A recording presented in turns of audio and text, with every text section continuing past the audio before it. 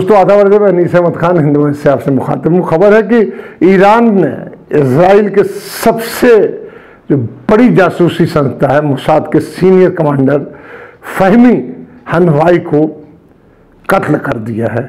उसके अपने जो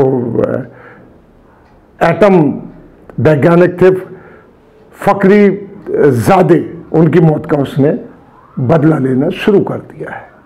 कहा ऐसा जा रहा है।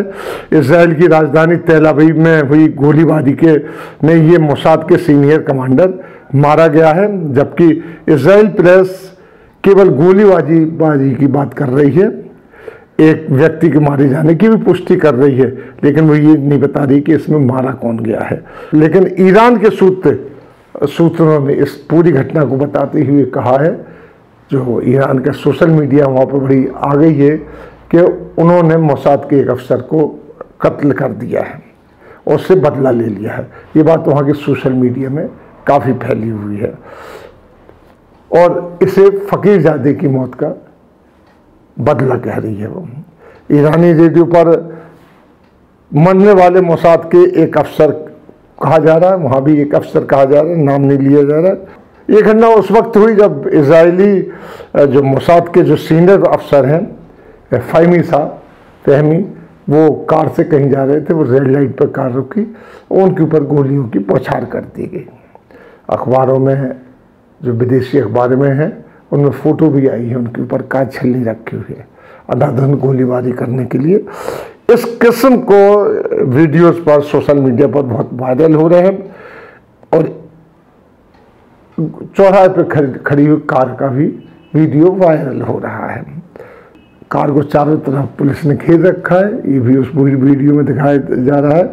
अभी तक इस हादसे को लेकर इसराइल की तरफ़ से कोई बयान नहीं आया है। फकीर जादे के बाद कहा जा रहा था कि ईरान इसका बदला लेगा, जिस तरीके से धमकी दी जा रही थी।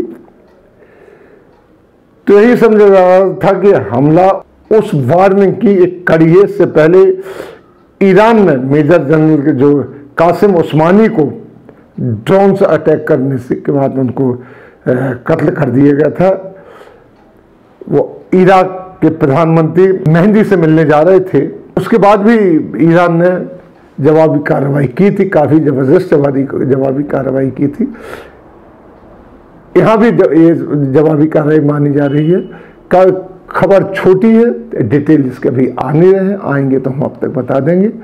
और लेकिन खबर इतनी इम्पोर्टेंट थी कि आप लोगों को बताना बहुत ज़रूरी था क्योंकि ये मुस्लिम कंट्री से जुड़ी हुई एक अहम खबर है। इसी के साथ हम आपसे लेते हैं विदा। अगले अंक में फिर हाजिर होंगे। तब तक के लिए दी इजाज़त।